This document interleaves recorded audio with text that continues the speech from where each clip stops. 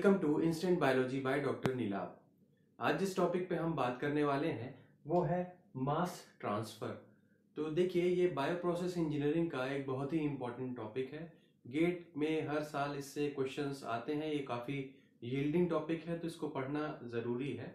तो आ, मेरे सजेशन के हिसाब से आपको इस टॉपिक को ज़रूर पढ़िएगा और ये वीडियो अंत तक देखिएगा। इससे आपके कॉन्सेप्ट जो है मास ट्रांसफ़र को लेकर के वो जो है वो क्लियर हो जाएगा। तो बायो प्रोसेस इंजीनियरिंग में हम काफ़ी आगे तक आ गए हैं। काफ़ी सारा पोर्शन ऑलरेडी कवर कर चुके हैं। उम्मीद करता हूँ आपको मेरे वीडियो से कुछ फ़ायदा हो रहा होगा। और इसी क्रम को बढ़ाते हुए आज देखते हैं मास ट्रांसफ़र तो सबसे पहले मास ट्रांसफ़र होता क्या है? अगर किसी भी बहुत ही आसान भाषा में, आसान शब्दों में समझने की कोशिश की जाए तो mass transfer is the transfer of mass from one point to another एक जगह से एक पॉइंट से दूसरे पॉइंट पे मास के ट्रांसफ़र को ही मास ट्रांसफ़र कहा जाता है, ठीक है? बट ये तो बहुत ही बेसिक सी डेफिनेशन हो गई कि मास को एक जगह से दूसरे जगह पे पहुंचाना है तो इसी को मास ट्रांसफ़र कहा जाएगा। अगर थोड़ा सा और साइंटिफिक टर्म्स में बात की जाए तो मास ट्रांसफ़र करवाने के लिए दो तरीके हैं हमारे पास। कौन कौन से दो तरीके? सबसे पहला तो होता है डिफ्यूजन और दूसरा होता है कन्वेक्शन पहला हो गया डिफ्यूजन तो आज जो हमारा डिस्कशन है, वो डिफ्यूजन के ऊपर फोकस्ड रहेगा। कन्वेक्शन की बात फिर कभी की जाएगी। तो डिफ्यूजन में क्या होता है? समझने का प्रयास करिएगा कि अभी डिफ्यूजन तो खैर आगे देखेंगे। पहले तो एक बार, एक चीज़, एक आधा चीज़ें और समझ लें कि जो ये मास ट्रांसफ़र का प्रोसेस है, ये खुद से नहीं होता, ठीक? इसके पीछे एक ग्रेडियंट है या इसके पीछे एक ड्राइविंग फोर्स है, ठीक है? जब आप गाड़ी चलाते हैं तो आपका ड्राइविंग फोर्स क्या है? वो आपका इंजन है इंजन उसको ड्राइव करता है, आगे की तरफ़ ढकेलता है।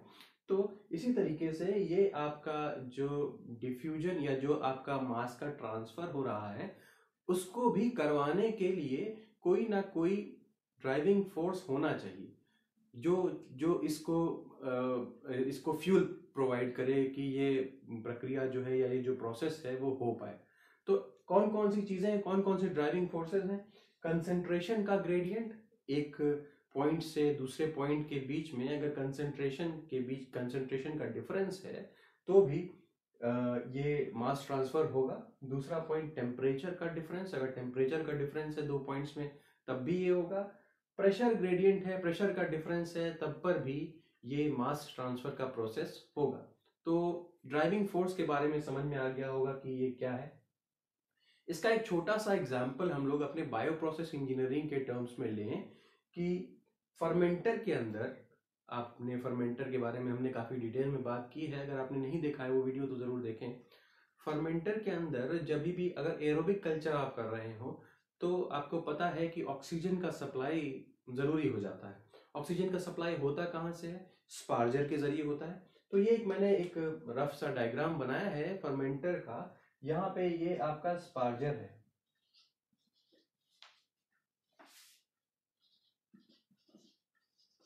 ठीक, ये आपका हो गया स्पार्जर। और स्पार्जर का काम क्या होता है बताया भी था मैंने कि ऑक्सीजन का सप्लाई करना, ऑक्सीजन को प्रोवाइड करना किसके अंदर? फर्मेंटर के अंदर। तो भाई ज़ाहिर सी बात है, जब आपने कोका कोला या पेप्सी पी होगी और उसके अंदर स्ट्रॉ के ज़रिए आप पी रहे हैं तो स्ट्रॉ से ही अगर आपने फूक मारी अंदर तो क्या होगा कि कोका कोला के अंदर बबल्स बनने लगेंगे, है ना? तो ये बबल्स जो है, इसी तरीके का ये जो फंडा है, ये बबल्स है। तो ये क्या हो रहा है? इसी तरीके का कुछ फंडा आपके फर्मेंटर के अंदर भी होता है। स्पार्जर से ऑक्सीजन रिलीज़ की जाती है और ये ऑक्सीजन जो है, इस फर्मेंटर के अंदर बबल्स के फॉर्म में रिलीज़ होती है। ठीक है? बबल्स बन जाते हैं। अब समझने की कोशिश करिए कि मास हम ट्रा, मास ट्रांसफ़र की बात कर रहे हैं यहाँ पे तो ये जो ऑक्सीजन की जो ऑक्सीजन जो गैस है ये इन बबल्स के अंदर इस बबल्स के अंदर ऑक्सीजन की गैस भरी रहती है और ये बाहर ये जो पूरा इसके अंदर क्या होगा? इसके अंदर मीडियम भरा होगा।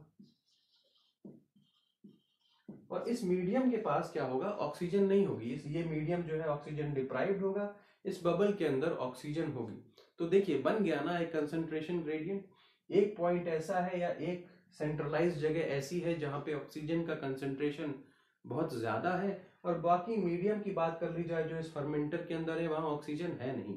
तो क्या होगा? ड्राइविंग फोर्स हमें मिल गया कंसेंट्रेशन ग्रेडियंट मिल गया हमें, जो बबल के अंदर ऑक्सीजन ज़्यादा, बाहर मीडियम के ऑक्सीजन कम तो ये कंसेंट्रेशन ग्रेडियंट हो गया। अब इसी की वजह से, इसी की वजह से क्या होगा? जो ऑक्सीजन अंदर थी बबल के, वो अब बाहर निकल के या मीडियम में सर्कुलेट होने लगेगी। अगर आपने बाहर से इम्पेलर वगैरह लगा रखा है तो वो दूसरी चीज़ है।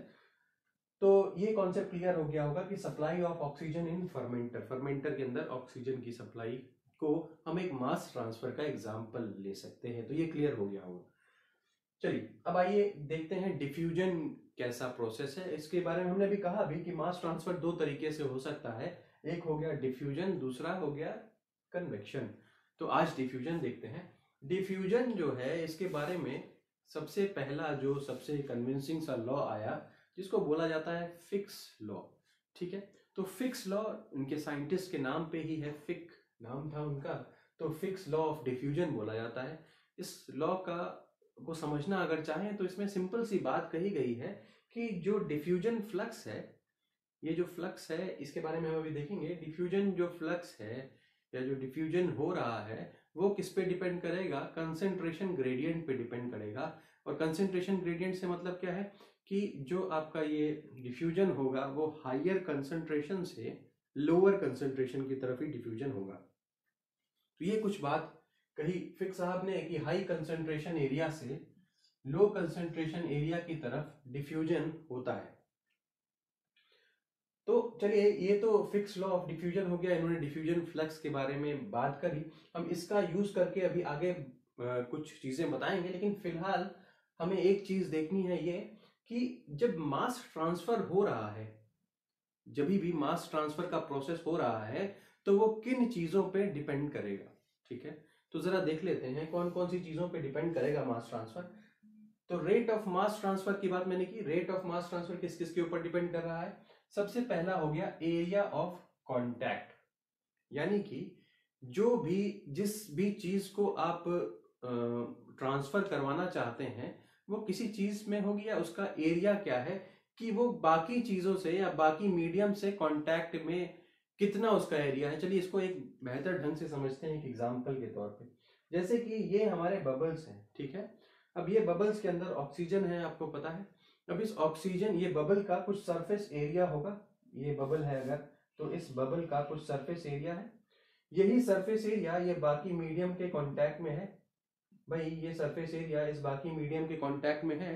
तो यही सरफेस एरिया रिस्पॉन्सिबल है, कितना एरिया टच कर रहा है बाकी बाउंड्री से, या जहाँ पे वो कंसेंट्रेशन या वो सब्सटेंस नहीं है, तभी तो चीज़ों ट्रांसफ़र हो पाएगा मास का ट्रांसफ़र तभी तो हो पाएगा। तो सबसे पहला फैक्टर क्या हो गया? जो एरिया ऑफ़ कॉन्टैक्ट है, ठीक? ये क्लियर हो गया होगा।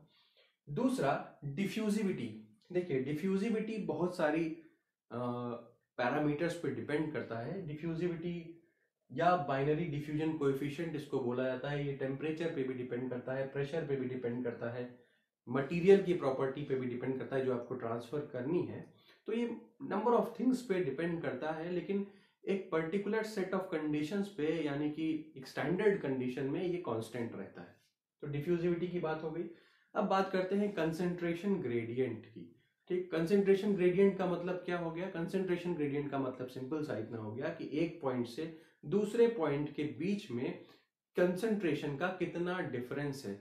जैसे सपोज़ करिए ये एक पॉइंट है ये पॉइंट है ए और ये दूसरा पॉइंट है जैसे इस, इस पॉइंट को मान लीजिए सी वन और इस पॉइंट को मान लीजिए सी टू तो अगर आपका कंसेंट्रेशन ऑफ़ सी वन ज़्यादा है सी वन का कंसेंट्रेशन ज़्यादा है सी टू से तो क्या होगा? डिफ्यूजन शुरू हो जाएगा। जिस चीज़ से कंसेंट्रेशन की बात कर रहा हूँ, वो चीज़ डिफ्यूज होने लगेगी। कहाँ पे? सी टू की तरफ़। तो ये बात हो गई कंसेंट्रेशन ग्रेडियंट की। यहाँ भी समझाया था, फिर बता दिया आपको। तो ये कंसेंट्रेशन ग्रेडियंट की बात हो गई। तो ये तीन चार फैक्टर्स हैं जिनके ऊपर ये आपका rate of mass transfer depend करता है। एक्चुअली होता क्या है कि आपको पता ही होगा कि rate of mass transfer actually area of contact और कंसेंट्रेशन ग्रेडियंट पे ही डिपेंड करता है। लेकिन जब आप प्रोपोर्शनैलिटी का कांस्टेंट हटाते हैं प्रोपोर्शनैलिटी का साइन हटाते हैं तो उसमें कोई ना कोई और चीज़ आपको कोई ना कोई कांस्टेंट जोड़ना पड़ता है। तो वही कांस्टेंट यहाँ पे क्या है? डिफ्यूजिविटी ठीक है? तो ये क्लियर हुआ होगा। अब जरा समझिए कि NA या रेट ऑफ़ मास ट्रांसफ़र ये एक्चुअली डिपेंड कर रहा था किस पे? एरिया ऑफ़ कॉन्टैक्ट जो कि ए से यहाँ पे दिखा रहा हूँ, और दूसरा कंसेंट्रेशन ग्रेडियंट कंसेंट्रेशन ग्रेडियंट यहाँ पे जो पर यूनिट डिस्टेंस लिया जाता है, ठीक है? तो D C A by D X क्या है आपका कंसेंट्रेशन ग्रेडियंट सी ए मतलब क्या हो गया? जो सी वन और सी टू के बीच में कंसेंट्रेशन का डिफरेंस है, जैसे कि अगर C one minus C two की बात करें तो यही आपका सी ए है। यही आपका सी ए है। तो ये हम पर यूनिट डिस्टेंस ले रहे हैं तो D C A by D X लिखा गया। और ये एरिया तो था ही। अब जब प्रोपोर्शनैलिटी का कांस्टेंट हटाया गया होगा तो ये डी ए बी या डिफ्यूजिविटी का जो पैरामीटर है, वो ऐड कर दिया है। ठीक है? अब डिफ्यूजिविटी का जब पैरामीटर ये ऐड किया गया तो आप इसके तरफ़ देख रहे होंगे कि साइन जो है, वो नेगेटिव लगा हुआ है यहाँ पे। तो नेगेटिव साइन के पीछे कहानी सिर्फ़ इतनी सी है क्योंकि जो डिफ्यूजन हो रहा है जो डिफ्यूजन हो रहा है वो कम कंसेंट्रेशन की तरफ़ डिफ्यूजन होता है। यानी कि हाई कंसेंट्रेशन से लो कंसेंट्रेशन कम कंसेंट्रेशन की तरफ़ डिफ्यूजन होता है। इसीलिए जो ये साइन यूज़ किया गया है वो सिग्ने साइन क्या है? वो नेगेटिव साइन है। तो ये क्लियर हो गया होगा कि आ, आपका जो रेट है या N A to minus D A B into A into D C A by D X होता है। चलिए अब एक चीज़ यहाँ पे और देख लें कि यहाँ पे जो एरिया की बात की गई है सरफेस एरिया की बात की गई या ए की बात की गई है, इसके, इसकी, इसके बारे में एक चीज़ और बताना चाहूँगा कि सरफेस एरिया जब आप ऑक्सीजन का ट्रांसफ़र करते हैं स्पार्जर के ज़रिए ऑक्सीजन ट्रांसफ़र होता है किसके अंदर? ये फर्मेंटर के अंदर ऑक्सीजन जब जाता है तो अवॉइड किया जाता है कि बड़े बड़े बबल्स को ना प्रोड्यूस किया जाए। क्यों? जितना ज़्यादा बड़ा बबल होगा सरफेस एरिया हम छोटे छोटे इसी इसी बबल के बराबर अगर छोटे छोटे बबल्स को बना दें तो क्या होगा? मेरे पास सरफेस एरिया क्या होगा? वो बढ़ जाएगा। जब सरफेस एरिया बढ़ जाएगा तो जो रेट ऑफ़ ट्रांसफ़र है रेट ऑफ़ मास ट्रांसफ़र है, ये रेट ऑफ़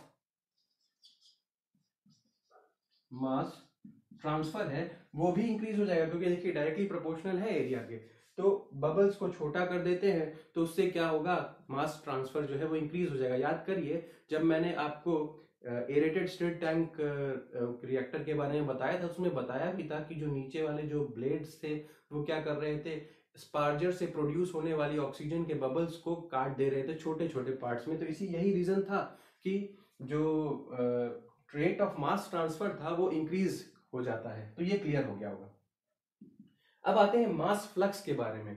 फ्लक्स क्या होता है? जी फ्लक्स का मतलब सिर्फ़ इतना होता है कि रेट ऑफ़ ट्रांसफ़र या rate of passing per unit area area से अगर आप डिवाइड कर दीजिए rate of transfer of mass क्योंकि हम मास फ्लक्स की बात कर रहे हैं यहाँ पे तो rate of transfer of mass per unit area कर दीजिए। तो rate of transfer of mass तो अपन ने पहले ही निकाल लिया था ना यहाँ पे rate of transfer of mass तो हमारा पहले ही आ गया था। तो उसी से अगर हम लोग एरिया को डिवाइड कर दें तो हमारी वैल्यू किसकी आ जाएगी? मास फ्लक्स की वैल्यू आ जाएगी। अच्छा एक चीज़ मैं और यहाँ पे डिफ्यूजिविटी के बारे में यहाँ पे एक चीज़ बताना भूल गया कि डी ए बी क्यों लिखा जाता है? ये डी ए बी का क्या मतलब हो गया? क्योंकि यहाँ पे दो चीज़ों के बारे में बात हो रही है। एक तो ए को हम क्या कंसिडर कर सकते हैं? ए का मतलब हो गया ऑक्सीजन यानी कि जिसको हम ट्रांसफ़र करवाने वाले हैं। और बी क्या मतलब हो गया? जो दूसरा कंपोनेंट है, जिसके ज़रिए, जिसके थ्रू जिसके अंदर पास हो रहा है, उसको हम लोग बी बोल रहे हैं। तो यहाँ पे क्या कहेंगे? यहाँ पे बी क्या चीज़ है? वो मीडियम है। ए आपका ऑक्सीजन हो गया बी मीडियम हो गया तो इनके बीच में ट्रांसफ़र हो रहा है। तो N A is equal to minus D A B into A into D C A by D X ये हमारा आपका यहाँ तक इक्वेशन समझ में आ गई। मास फ्लक्स के बारे में मैंने बताया कि आप rate of transfer of mass को अगर एरिया से डिवाइड कर दीजिए तो आपकी मास फ्लक्स की वैल्यू आ जाएगी। तो फिर वही चीज़ मैंने किया। तो ये जो रेट ऑफ़ मास फ्लक्स है rate of transfer of mass flux इसको जे ए से दिखाते हैं। तो J A is equal to हो गया एन ए बाई ए और एन ए की वैल्यू यहाँ पे हम ऑलरेडी निकाल चुके थे, जिसमें ए से अगर आप डिवाइड कर देंगे तो क्या आ जाएगा? सिर्फ़ इतना बचेगा। Minus D A B into D C A by D X minus D A B into D C A by D X मैंने लिख दिया। तो ये क्या हो गया आपका? ये आपका मास फ्लक्स हो गया। और यहाँ पे मैंने एक चीज़ और लिखी है, ये जो डी ए बी है, इसके बारे में भी बताया भी था। ये डिफ्यूजिविटी कोएफिशिएंट है या बाइनरी डिफ्यूजन कोएफिशिएंट भी इसको कह रहे हैं। ये किस किस चीज़ों पे डिपेंड करेगा? बताया भी था टेम्परेचर पे प्रेशर पे प्रॉपर्टी ऑफ़ मटेरियल पे, बहुत सारी चीज़ों पे डिपेंड करता है बट एक स्टैंडर्ड सेट ऑफ़ कंडीशंस में ये कांस्टेंट रहेगा। तो यहाँ पे बात हो गई। अब एक चीज़ और यहाँ पे इसके अलावा बतानी थी यहाँ पे कि देखिए, इसके सबके यूनिट्स आपको पता होने चाहिए। यूनिट्स पता होने इसलिए चाहिए क्योंकि बायो प्रोसेस में जब भी कोई न्यूमेरिकल आता है तो कई बार आप उसके यूनिट से सही अंदाज़ा लगा सकते हैं। दूसरी बात यूनिट से कई बार उस क्वेश्चन को सॉल्व करने में बहुत ज़्यादा मदद मिलती है। तो अगर हम यूनिट देखना चाहें हर चीज़ का यूनिट तो एनए का या रेट ऑफ़ मास ट्रांसफ़र का, भाई मास का ट्रांसफ़र हो रहा है तो ट्रांसफ़र तो हमेशा रिलेटेड टू टाइम होता है ना। तो और मास अगर हो रहा है तो मास का सबसे जो ज़्यादा यूज़ होता है वो मोल्स है तो मोल्स पर सेकेंड आपका एनए का यूनिट हो गया। NA मतलब क्या हो गया? रेट ऑफ़ मास ट्रांसफ़र यहाँ पे हम लोगों ने निकाला भी था। Rate of mass transfer is equals to moles per second ये इसका यूनिट हो गया। आइए सीए की बात करें। सीए हम लोगों ने यहाँ पे बोला भी था कि ये क्या था? सीए क्या था? कंसेंट्रेशन ग्रेडियंट था। अब कंसेंट्रेशन का यूनिट आप जानते ही हैं, क्योंकि यहाँ पे हम फर्मेंटर की बात कर रहे हैं तो वॉल्यूमेट्रिक बेसिस पे हम कंसेंट्रेशन को लेंगे। कंसेंट्रेशन ये भी again moles per metre cube क्योंकि वॉल्यूम हम यहाँ पे कंसिडर करते हैं ना, पूरे फर्मेंटर के अंदर हम कंसिडर करते हैं। तो मोल्स और पर पर यूनिट वॉल्यूम या वॉल्यूम को हम लोग मीटर क्यूब भी लिखते हैं तो मोल्स पर पर मीटर क्यूब हो गया। अब आइए x, क्योंकि यहाँ पे x भी यूज़ किया गया था तो x क्या है? डिस्टेंस का यूनिट है। ये डी सी वन और डी सी टू के बीच में कितना डिस्टेंस है, उसको यही आपका ये x है। सी वन और सी टू यहाँ पे जो दो पॉइंट्स हैं सॉरी दो पॉइंट्स हैं यहाँ पे सी वन और सी टू इनके बीच में कितना डिस्टेंस है? ये x, इसी डिस्टेंस की बात हम यहाँ पे कर रहे हैं। तो x डिस्टेंस क्या हो गया? इसका यूनिट हो गया मीटर m लिख रहे हैं। तो अब इसी इक्वेशन से, अगर इसी इक्वेशन से हम निकालना चाहें तो D A minus D A B को एक तरफ़ कर लीजिए। बाकी सारी की सारी चीज़ों को एक तरफ़ कर लीजिए तो minus D A B is equals to N A by A into D X by D C A ठीक है?